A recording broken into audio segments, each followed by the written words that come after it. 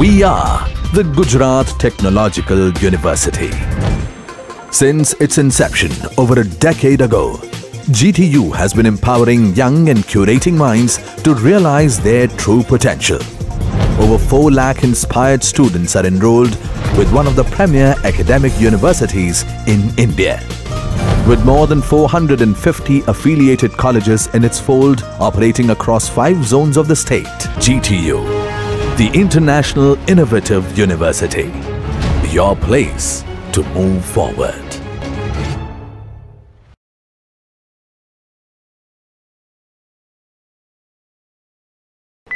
hello friends welcome. In this video i will discuss basics of android.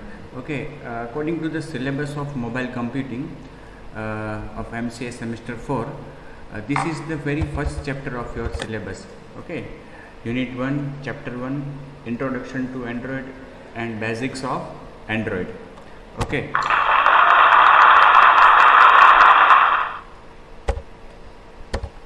As we have already completed the syllabus theoretically and uh, we have almost covered all the topics of the syllabus uh, I think we should uh, again uh, revise it from the beginning so that uh, it's it, it has been very long that we have started the syllabus of Android in June sorry in uh, January so you will get a revision of all this the topics we, we will discuss here are what is Android, an open platform, its software development kit and the development features of Android. So we know that as on today mobiles have become a novelty. Yeah, there are a variety of mobiles available in market and each one will have a mobile of his own style, prestige and which he or she would like to show others that uh, I have such a device.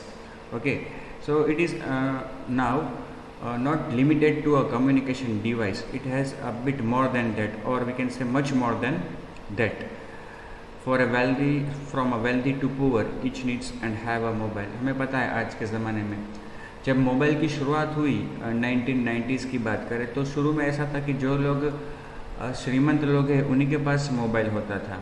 Okay? मध्यम वर्गीय लोग या उससे नीचे की line वाले लोग, उनके पास ज़्यादातर केस में हम मोबाइल नहीं देखते थे।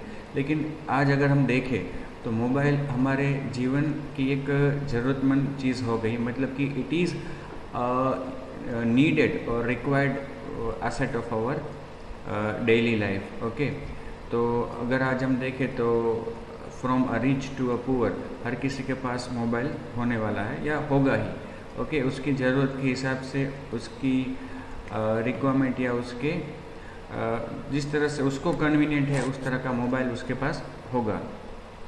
और ये हमने बात की लेवल के अनुसार मतलब कि श्रीमंत की बात की कोई गरीब की बात की मतलब कि हर हर एक के पास ये मोबाइल तो होने ही वाला है। लेकिन एज के बारे में बात करें तो भी हम देखें तो अपने ही घर में, सपोज़ कि हमारे घर में आज पाँच व्यक्ति है या छः व्यक्ति है तो छः व्यक्ति होंगे आपके घर में तो छः मोबाइल्स होंगे या कम से कम चार तो होंगे ही। कहने का मतलब फ्रॉम लिटल बॉय और little child to an older person every will have a mobile of his use okay तो आज हम देखें तो ये एक बहुत ही प्रसिद्ध डिवाइस हो चुका है मार्केट में। तो इसमें वैरायटी भी इतनी सारी मिलती है और क्लाइंट्स भी इतने सारे मिलते हैं। लेकिन अगर हम बात करें कंप्यूटर की या लैपटॉप की तो अगर घर में पाँच व्यक्ति है तो कंप्यूटर ना भी हो और हो तो एक हो लैपटॉप हो तो भी एक हो, ऐसा हो सकता है। लेकिन mobiles it it may happen that सबके पास अलग अलग मोबाइल हो। सो so, अगर हम बात करें शुरू की कि ये मोबाइल का जन्म कहाँ से हुआ या फिर उसकी सोच सोच कहाँ से आई है तो मोबाइल जब डेवलप हुआ तो डेवलपर्स का इरादा तो एक ऐसी चीज़ बनाने का था कि जिसके द्वारा बातचीत हो सके। So it was thought of a communication device okay तो मोबाइल जब आया मार्केट में तो उसके पहले भी कम्युनिकेशन करने का ज़रिया कम्युनिकेशन करने के डिवाइसेस मार्केट में उपलब्ध थे, जिसे हम टेलीफोन कहते थे। यहाँ पे जो ड्रॉ किया गया है, उस तरह के टेलीफोन्स आपने भी शायद देखे होंगे। मैंने तो देखे हैं। इस तरह के लैंडलाइन फ़ोन्स जिसे हम कहते हैं, वो पहले प्रसिद्ध थे और मार्केट में थे।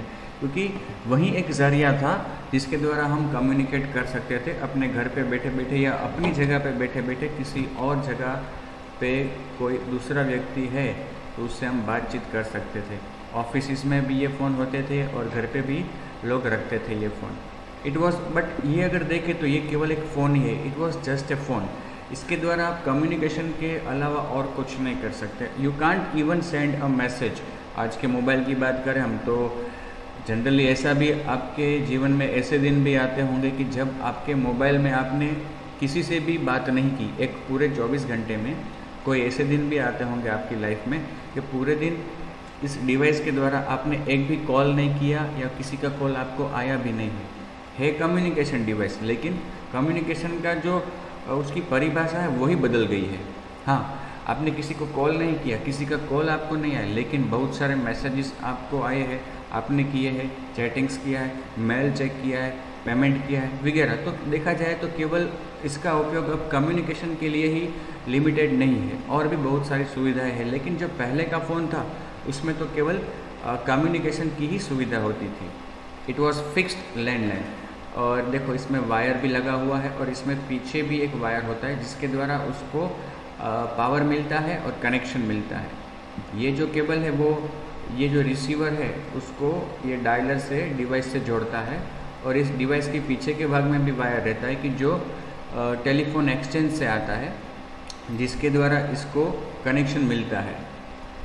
इट वॉज़ फिक्स्ड अब देखो वायर जितना लंबा है, उतना उतना आप मूवमेंट कर सकते हो। अदरवाइज़ ये टेलीफोन जहाँ पे लगा है, वहीं पे बैठ के आपको या खड़े रह के बात करनी है। You can't take it anywhere as you can take it take this mobile one has to limit the area of talking मतलब कि आपको बातचीत का जो एरिया है, वो लिमिटेड हो जाता है। अगर आपके कोई पर्सनल कॉल आए सपोज़ कि आपके पास, देखो ये एक लैंडलाइन नंबर डिवाइस है ओके ये यहाँ पे जो दिखाया है, वो उससे भी पुराना है, ये थोड़ा नया है इससे। लेकिन इसमें है क्या? अगर टेलीफोन आता है और आपका पर्सनल कॉल आया है तो या तो आपका रूम खाली होगा तो आपको मज़ा आएगा बात करने में, या फिर अगर कोई और भी बैठा है रूम में तो आपको कहना पड़ेगा, भाई, आप थोड़ी देर मुझे प्राइवेसी दे सकते हो? मतलब इस तरह का होता है, या करना पड़ता था ओके लेकिन अब दूसरी ओर देखें, मोबाइल। तो नो लिमिटेशन आज आपको मोबाइल में फ़ोन आता है तो आप पाँच लोग घर में बैठे हो एक रूम में ड्राइंग रूम में और आपके मोबाइल में घंटी बजती है और आप कहते हो कि आपका पर्सनल कॉल आया है सपोज़ की तो आप घर में जो चार मेंबर्स बैठे हैं, उनको ऐसा नहीं कहोगे कि प्लीज़ आप बाहर जा सकते हो थोड़ी देर के लिए, आप खुद ही बाहर चले जाओगे। मतलब कि now there is no limitation for the place कि कहाँ पे आप बात कर सकते हो। You can talk at any कहाँ कहीं पे भी आप बात कर सकते हो।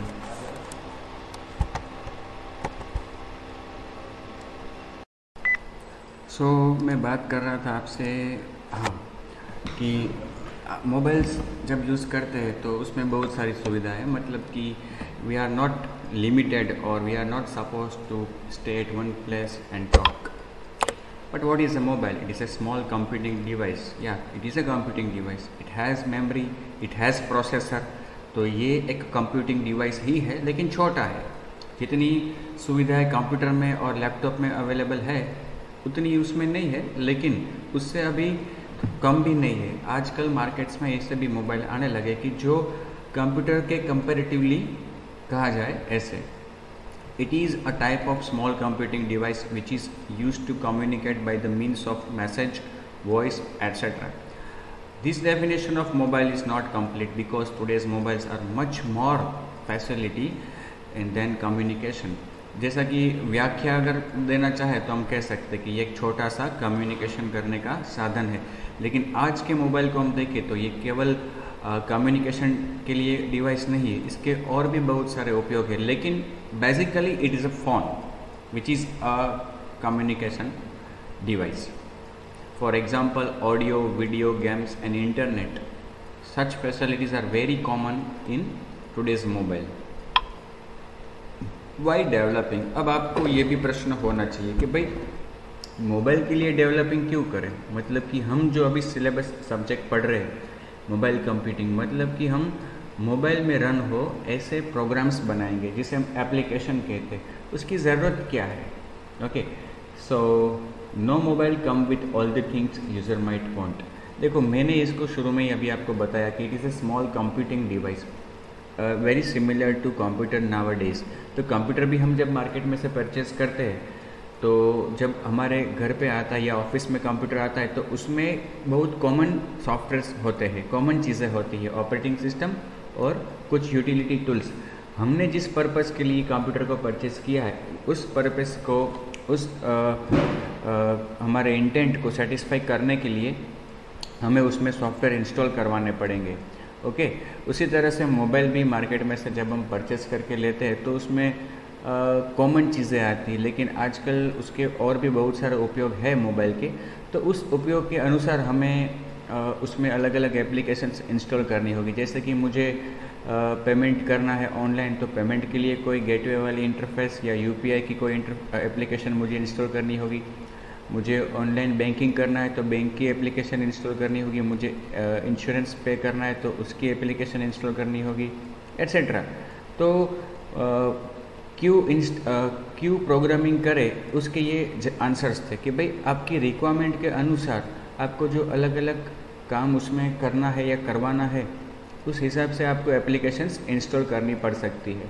For example somebody may be interested in Indian history while somebody else may be interested in graphics and some may be interested in listening songs so this are very few examples it is near to impossible for a manufacture to satisfy all the users तो जब manufacture device को manufacture करता है तो वो maximum क्या सोचता है कि भाई सभी क्लाइंट्स को उपयोगी हो, ऐसा, ऐसी कॉमन एप्लीकेशंस उसमें रखें हर एक के लिए सोच नहीं सकता it is near to impossible so a third party a developer will develop an application which will fulfil the client और यूज़र्स रिक्वायरमेंट तो क्या होगा कि एक बार आप मार्केट से मोबाइल को परचेस कर लोगे, उसमें जितना है, उतना रहेगा। एडिशनली आप क्या करोगे, जो आपकी रिक्वायरमेंट है, उस हिसाब से आप एप्लीकेशन को इंस्टॉल करोगे डाउनलोड करके। तो ये जो एप्लीकेशन आप इंस्टॉल करते हो डाउनलोड करते हो, वो एप्लीकेशन किसी डेवलपर ने तो बनाई है ओके तो इसके लिए डेवलपिंग करने की आवश्यकता होती है ओके ये देखिए, ये सबसे पहला मोबाइल दुनिया का सबसे पहला मोबाइल जो इन्वेंट हुआ था 1983 में मार्टिन कूपर मोटोरोला के एम्प्लॉयर थे ऑफिशियल थे, जिन्हों साइंटिस्ट थे, कि जो रिसर्च कर रहे थे मोबाइल पे, और सबसे पहला मोबाइल जब उन्होंने डेवलप किया तो ये इस तरह का था। थोड़ा वेट में हैवी ओके उसमें ऊपर एंटेना और थोड़ा विथ भी उसका ज़्यादा है ओके लेकिन था तो मोबाइल मतलब कि उस समय पे जब ये डिवाइस उन्होंने मैन्युफैक्चर किया इन्वेंट किया तो सब स्तब्ध रह गए कि ये क्या है। बिना वायर वाला फ़ोन बिना वायर वाला फ़ोन आप कहीं भी चाहो उसको साथ ले जा सकते हो। इजीली आप मूवमेंट कर सकते हो। तो एक क्रांतिकारी इन्वेंशन था ये उस समय पे। और इसको नाम दिया था Dynatec T C Dynatec 8000X it was the very first commercially available mobile phone और सेल फ़ोन किसने इन्वेंट किया था इसको? मार्टिन कूपर ने, जो मोटोरोला कंपनी के एम्प्लॉय थे। ओके और इसको, ये जो फ़र्स्ट मोबाइल है, जिस, इसको एक उपनाम भी दिया गया था ब्रिक ब्रिक मतलब जब हम आपको पता होगा कि ईट गुजराती में हम उसको ईट बोलते हैं। जब हम कंस्ट्रक्शन करते हैं बिल्डिंग का तो उसमें ईंट का यूज़ करते हैं। उस ईंट की तरह ये हम मोबाइल था, इसलिए उसको नाम क्या दिया था? ब्रिक। इसको फ़र्स्ट जनरेशन मोबाइल भी कहा गया था, ब्रिक मोबाइल को। उसके बाद 1990s में आया सेकंड जनरेशन मोबाइल्स फ्लेप वाले मोबाइल। ओके? फ्लेप वाले मोटोरोला ने मोबाइल्स मार्केट में रखे स्टार टेक ओके? और जिसमें छोटा सा डिस्प्ले भी होता था। पहले जनरेशन वाले मोबाइल में था, लेकिन वो नहीं के बराबर था। इसमें एक छोटा सा डिस्प्ले भी रखा मतलब स्क्रीन भी, जिस पे कुछ दिखाई दे। और ये मोबाइल्स जो है सेकंड जनरेशन मोबाइल्स उनको हॉलीवुड की एक मूवी में भी बताया गया था मैट्रिक्स यहाँ पे आप देख रहे हो, ये वो मैट्रिक्स मूवी का एक कैरेक्टर है हीरो नियो इसका नाम है। उसने भी देखो, उसके हाथ में ये सेकंड जनरेशन मोबाइल है। Okay following this Nokia develop 8110 the first slider phone able to display 52 characters also known as the Matrix phone problem of developers अब देखो डेवलपर्स तब भी जब ये सेकंड जनरेशन मोबाइल आया मार्केट में, तब भी डेवलपर लोग मोबाइल के लिए भी डेवलपिंग कर रहे थे, लेकिन कम डेवलपर्स थे और कम रुचि वाले डेवलपर्स थे। डेवलपर्स की कम रुचि थी मोबाइल की तरफ़, क्योंकि है तो बहुत सारे मोबाइल्स मतलब कि बहुत सारे आ जाएँगे, लेकिन उनको एक समस्या भी तब रहती थी। वो समस्या क्या थी कि मोबाइल के मैन्युफैक्चरर बहुत सारे मार्केट में है, और हर मैन्युफैक्चरर, जैसे कि सोनी, मोटरोला, सैमसंग, नोकिया, हर मैन्युफैक्चरर अपना खुद का ऑपरेटिंग सिस्टम मोबाइल में रखता था और उसका आर्किटेक्चर भी उनको खुद को ही पता था। वो एक्सपोज नहीं करते थे। मतलब कि अगर डेवलपर को पता नहीं है कि भाई इस मोबाइल में गाना कैसे बजाए, इस मोबाइल में स्क्रीन पे कैसे लिखे तो वो डेवलपर डेवलपिंग कैसे कर पाएगा? ये तब प्रॉब्लम थी कि कोई भी थर्ड पार्टी डेवलपर को मोबाइल के आर्किटेक्चर के बारे में पता नहीं था। तो वो डेवलप कैसे करेगा? इसके कारण उनका इंटरेस्ट कम रहता था डेवलपर्स का। तो डेवलप कौन करता था? डेवलप वही लोग करेंगे कि जो कंपनी या मैन्युफैक्चर जो कंपनी करती है, उसके एम्प्लॉयज़ है, उसके डेवलपर से उनको इस मैकेनिज़्म के बारे में पता होगा, वही लोग ये डेवलपमेंट करेंगे। तो देखो coming to the point developer have developer who have to develop an application he should have idea about the underlying hardware and its interaction. Many of the operating systems such as Symbian offer some access to the device hardware, but it generally requires developers to write complex C, C++ code and make heavy use of proprietary APIs which are very difficult. तो तब क्या था कि बहुत सारी operating systems market में थी जैसे कि सैम्बियन बराबर। ये आपको कुछ हद तक डिवाइस का हार्डवेयर एक्सेस करने की परमिशन देती थी लेकिन डेवलपर्स को बहुत सारा सी और सी प्लस प्लस का कोड लिखना पड़ता था। इसके कारण सैम्बियन की बात कर रहे हैं। ओके तो ये डेवलपर्स की प्रॉब्लम थी कि अलग अलग प्लेटफॉर्म्स मार्केट में अवेलेबल है। हर प्रॉपर्टी प्लेटफॉर्म का खुद का आ, वो होता है कॉपीराइट तो डेवलपर्स खुद कैसे डेवलप करें? जैसे कि मुझे एक सिंपल कैलकुलेटर बनवाना है, अब वो कैलकुलेटर मुझे पहले तो ये सोचना पड़ेगा, कौन से डिवाइस के लिए बनाऊँ? सोनी के लिए बनाऊँ? मोटोरोला के बनाऊँ? नोकिया के लिए बनाऊँ? सैमसंग के लिए बनाऊँ? सैमसंग के लिए बना दिया कैलकुलेटर तो वो कैलकुलेटर नोकिया में तो रन नहीं होगा। तो ये एक ही प्रकार का कोड अलग अलग ऑपरेटिंग सिस्टम के अनुसार अलग अलग प्रोग्रामिंग लैंग्वेज सीख कर बनाना पड़ता था। तो ये डेवलपर्स को तब प्रॉब्लम होती थी। तो तब ज़रूरत पड़ी कुछ ऐसा हो कि जो एक डेवलपर एक मोबाइल के लिए डेवलप करे एप्लीकेशन तो सभी मेजॉरिटी सभी डिवाइस में वो रन हो और क्लाइंट डेवलपर को वो भी पता हो कि इंटरनल आर्किटेक्चर क्या है मतलब कि एक्सपोज किया गया हो। Open platform for mobile development which is android uh, let's talk since beginning of Android यहाँ पे आप जो फ़ोटो देख रहे हो ये पर्सन वो है कि जो एंड्रॉयड के पीछे कारणभूत है। ये पर्सन ने एंड्रॉयड को डेवलप किया है या इसकी टीम ने हम कहे इन, इनकी टीम ने एंड्रॉयड को डेवलप किया है। इनका नाम है एंडी रूबिन ओके एंड्रॉयड जैसा कि आप जानते होंगे कि आज गूगल की संपत्ति है लेकिन 2005 तक 2005 में गूगल ने उसे परचेज किया। तब तक एक अलग ही कंपनी थी एंड्रॉयड आई करके। ओके? एक्चुअली एंड्रॉयड का निर्माण एंड्रॉयड आई ने किया है और ये एंड्रॉयड आई कंपनी इनकी थी एंडी रूबिन की। So the first truly open and comprehensive platform for mobile devices तो मोबाइल डिवाइसेस के लिए सबसे पहला ओपन सोर्स और फ्री प्लेटफॉर्म था एंड्रॉयड इनकी कंपनी ने एक फ्री प्लेटफॉर्म डेवलप किया मोबाइल्स के लिए। ओके, ओपन सोर्स मतलब कि कुछ छुपा नहीं, ओपन सोर्स इजीली कोई भी उसके लिए डेवलप कर सकता है, इस तरह का। It includes an operating system user interface and applications all of the software to run a mobile phone but without the property obstacles that have handed mobile innovation तो ये एक कहा जाए कि संपूर्ण ओपन ऑपरेटिंग सिस्टम थी। खास करके स्मॉल डिवाइसेस के लिए, उसमें भी खास करके मोबाइल के लिए।